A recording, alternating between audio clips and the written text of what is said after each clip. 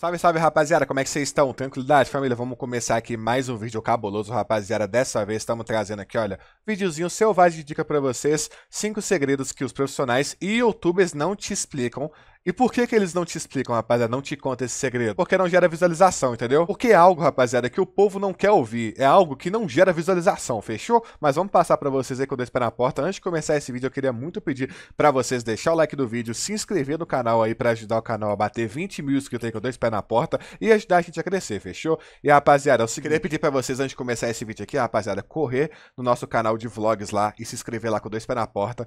Antes que vocês perguntem, esse canal era assim no meu canal de Valorant, só que como eu não jogo mais esse jogo, cara, e eu tô passando muito estresse, decidi, junto com meu irmão, parar de jogar Valorant. E eu comecei a postar os vlogs nesse canal agora, pois é um canal monetizado, então vai me gerar dinheiro, entendeu? Então corre lá nesse canal, se inscreve lá com dois pés na porta pra ajudar ele a crescer, acompanha os vlogs do Taruzão, porque o pai vai chegar chegando com dois pés na porta, mostrando a nossa vida, e tá vindo história triste aí. É triste, mas é nossa história, fechou? O link tá na descrição, família. O primeiro detalhe que prejudica muita gente a evoluir no CS, a subir de patente e tudo, não é seu time trollando, não é essas coisas. É o quê?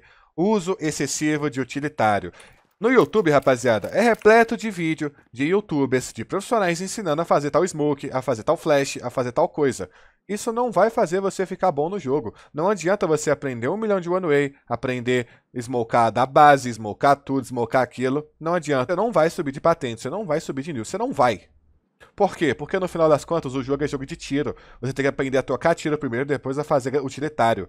E daí, rapaziada? Não adianta você chegar lá, pô, eu sei fazer todas as smokes, só aprendi a jogar CS, aprendi a smocar tudo. Os caras me falaram, ah, aprende essas smokes primeiro. Não, não faça isso. Não aprenda a smoke. Eu sei que isso é uma coisa que gera visualização, gera engajamento, mas isso não gera resultado para você. Aprender smoke é, é legal, é legal mas grande parte da comunidade fica limitada a jogar um jogo apenas em utilitário. No 1x1, por exemplo, existe uma regra universal que é o seguinte: não puxar bomba no 1x1. E o pessoal adora fazer bomba quando vê um cara.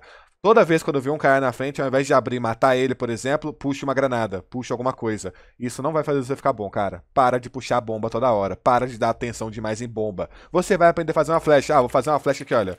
Pô, bang aqui por cima, tal, tá, a bang estourou, pum, abri, toquei tiro. No final você tá resolvendo na bala. Esquece o uso excessivo de utilitário, fechou? O segundo detalhe agora, rapaziada, é o seguinte. Cara, parem de se iludir achando que vocês têm mira ruim, que vocês é, são ruins no jogo. Não, vocês não sabem fazer uma coisa, que é frear o boneco da forma correta. No CS só existe uma forma de frear o boneco. Eu vou encher o saco disso a minha vida inteira, porque vocês têm que aprender isso. Todo mundo erra tiro no jogo porque não freia o boneco correto. Para frear o boneco, você vai vir no D, vai soltar o D e dar um tapa no A. Esse tapa ele é o freio. Vai vir no A, solta o A e dá um tapa no D. É assim que freia. Você erra a maioria dos seus tiros por conta do seu freio, porque você não anda de lado e você não freia o boneco correto.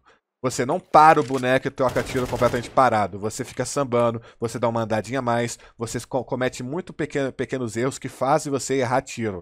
Mas a, ma a, maior prova de que você tem uma mira boa é que você, você consegue manter o seu tracking no boneco, mas você está errando os tiros. E você acha que você está errando tiro porque você tem uma mira ruim, porque você é ruim. Não, é porque você não sabe frear o seu boneco, você não sabe manter o boneco é, parado. Só um detalhe, rapaziada. Se você está correndo com seu boneco e você vê alguém na sua tela, jamais pense que, nossa, eu vou abrir correndo e na hora que eu ver um cara é só eu agachar e pronto. Não, o agachar ele não freia o boneco. Olha, tô correndo, agachei e atirei. Olha o tiro todo torto. Só agachar não vai frear o seu boneco quando você estiver correndo.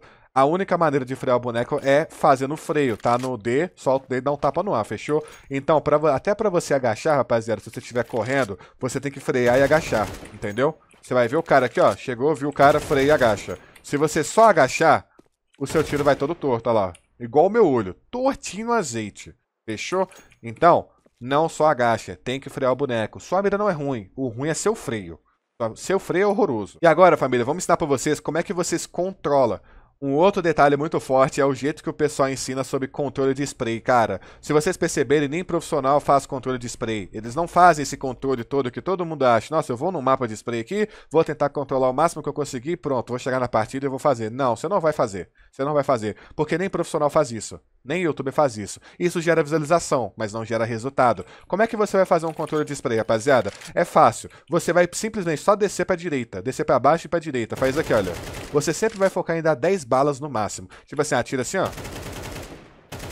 reseta e atira de novo. Você vê que eu tô freando, eu sempre paro. Não, eu não tô atirando andando. Sempre que eu atiro, eu tô parado. Eu ando, atiro. Ando, atiro. Eu freio muito rápido. Já dominei esse freio. Então, o único detalhe que vocês vão fazer é o seguinte: vocês vão puxar para baixo e indo pra direita. Melhor ainda, vamos usar um boneco como referência. Vocês vão atirar na altura da cabeça jogando pra perna direita. Vai fazer sempre esse movimento assim, ó. Sempre assim. Entendeu? Só assim, olha. Tá, aqui o boneco joga pra perna direita. Se o boneco estiver de lado, rapaziada, joga assim, olha. Se o boneco estiver desse lado, joga assim, olha. Entendeu? E outra coisa, o controle do spray é o seguinte, vocês não podem deixar a bala subir.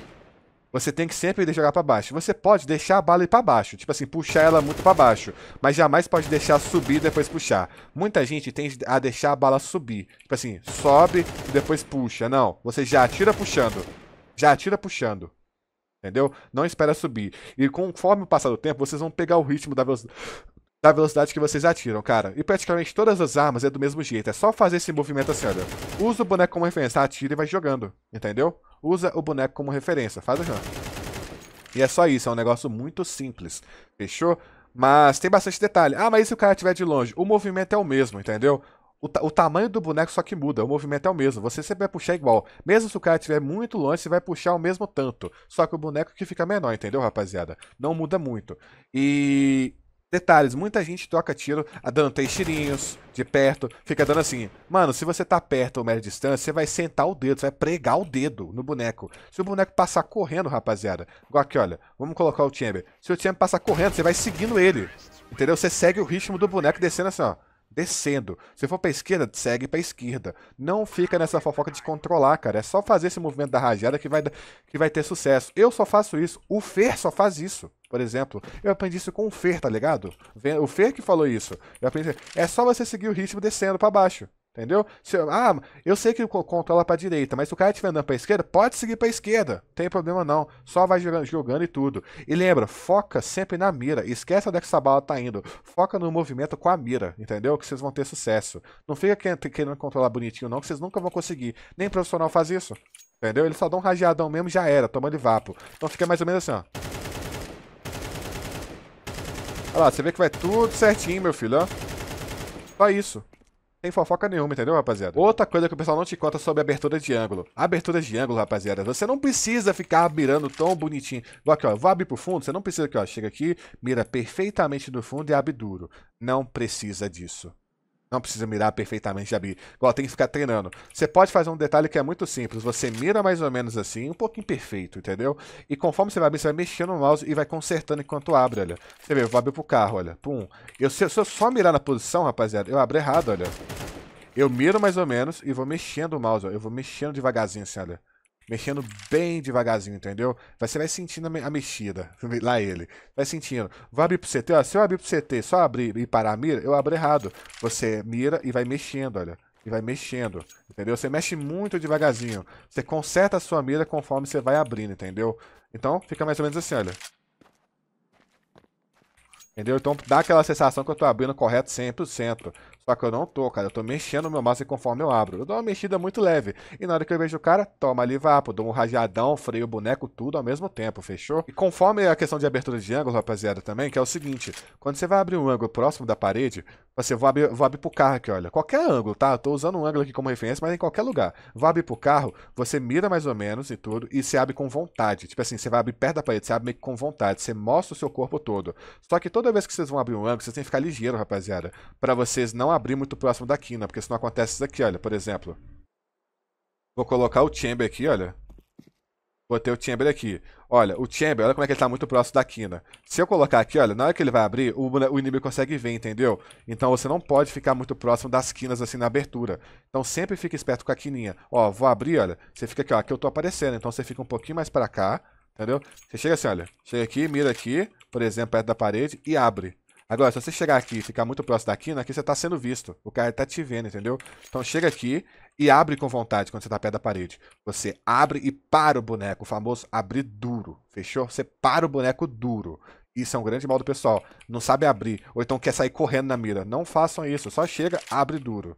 Entendeu? Só que aí, quando você vai fazer essa mesma abertura, só que mais longe da parede, uma distância maior, você não pode pegar e abrir com vontade, porque senão você abre até demais. Você tem que abrir meia bomba. Você abre assim, olha. No final, as duas aberturas dá igual, você continua na mesma linha. Só que quando você tá mais longe, você corre um pouco mais, entendeu? Então, tipo assim, você tem que abrir menos. Meio, é, dá uma sensação que você abre menos, só que você abre igual. E se você vai abrir perto da parede, abre meio que com vontade. No final, as duas dá igual, olha. A mesma coisa, entendeu? Então, perto da parede, abre duro com vontade. Longe da parede, abre meia bomba, mas tem que abrir duro do mesmo jeito. Você abre e para o boneco no vapo. Fechou? E agora, rapaziada, uma técnica para você conseguir dar HS rápido no CS, que é o seguinte. Quando você for dar HS, rapaziada, por exemplo, você vai abrir algum ângulo. Cara, eu quero abrir pro carro. Vou deixar o chamber lá no carro, olha. Descer o chamber. Quando você vai abrir pro carro, rapaziada, você abre meio mirado. Você vê que eu não tô com a mira aberta nele, 100% perfeita, por exemplo. Eu não tô com a mira perfeitamente no boneco, por exemplo. E daí, o segredo para você dar um HS rápido é você fazer um microajuste bem rápido. Porque muita gente tenta fazer isso aqui, olha. E dá um tiro. Não, não façam isso. Cara, tenta fazer microajuste. Vamos pro modo treino lá, que é o Esse segredo aqui, rapaziada, é o seguinte, olha. Primeiramente, você vai vir aqui. Você vai vir aqui e fechar as barreiras. Fecha essa barreira, fecha essa barreira, fecha essa barreira e fecha aqui pra poder ficar um pouco mais perto. Vem aqui no menu aqui, olha. Vai ter aqui Bosch Misk. Você vem cá no Kevlar e coloca um Kevlar 2 pra poder colocar o colete 2. Rapaziada, é, primeiramente, o treino que vocês vão fazer pra dominar o freio é o seguinte. Eu já passo esse treino pra galera da mentoria, entendeu? Pra muita gente da mentoria. É o seguinte, vocês vão correr pro lado, freia e mata vocês poderem treinar essa movimentação de lado e correr. Corre para a esquerda, freia e mata. Corre para a direita, freia e mata. Corre para a esquerda, freia e mata. Você percebe que você vai estar tá treinando tudo no, no negócio? Você vai estar tá treinando correr, pra, é, correr de lado, vai estar tá treinando frear o seu boneco e vai estar treinando a rajada. O movimento lá que eu te falei, olha. Olha lá, só o mesmo movimento, ó. Eu não mudo esse movimento, ó. Entendeu? E tudo. Quando você freia errado, é fácil. Olha lá, se você freia errado, o tiro espalha. Entendeu? Muita gente erra tiro por conta disso, olha. Freia errado. Aí quando você volta a frear correto, ó. Olha como é que a porrada entra. Entendeu? A porrada entra. E daí é assim que vocês vão treinar o freio. Vai ficar correndo e conforme vocês vão acelerando só a questão do seu treino. Fechou. Outra coisa que é o seguinte, como é que vocês vão treinar aquela questão de dar HS rápido? Guys, para de tentar mirar bonitinho na cabeça. Não tenta mirar bonitinho. É o seguinte, você vai abrir o ângulo. Vamos colocar até uma parede aqui, olha. Coloquei a parede e tudo. Quando você vai abrir o ângulo, você abre o ângulo duro. Chegou aqui abre o ângulo duro. Você vê que a mira não tá. Você joga rápido pro boneco e a conserta. Você vai jogar a sua mira o mais rápido possível, atira jogando pro boneco. Fica tipo assim, ó. E joga. Só que eu tô fazendo uma forma bem lenta. Você tem que jogar rápido pra cabeça. O segredo pra dar HS é flica rápido pra cabeça. Você abre duro, para o boneco, vê e flica rápido. É tipo assim, ó. Entendeu? O mais rápido que você conseguir. E você já flica, você já flica rápido, atirando, desce, fazendo o movimento da rajada. Tipo assim, ó. Ó, vamos, vamos não dar HS agora, ó. Ó. É o mesmo movimento, ó. Entendeu? Você flica rápido, ó. Agora foca na cabeça, foca em jogar pra cabeça, olha. Aí você dá HS. Entendeu? É só jogar rápido. Não tenta mirar bonitinho na cabeça, por isso não te contam. Mira rápido. Tenta fazer rápido. O, o negócio que vai fazer você ganhar a tocação é esse freio, esse bendito freio, entendeu? Então freia o boneco certo. Vocês têm mira, vocês só não têm freio, entendeu? Isso daí, mano, foram cinco detalhes que o pessoal não te conta. Não te conta. Por quê? Porque não é. Não, porque não gera visualização. Mas vai gerar porque vocês vão me ajudar, fechou?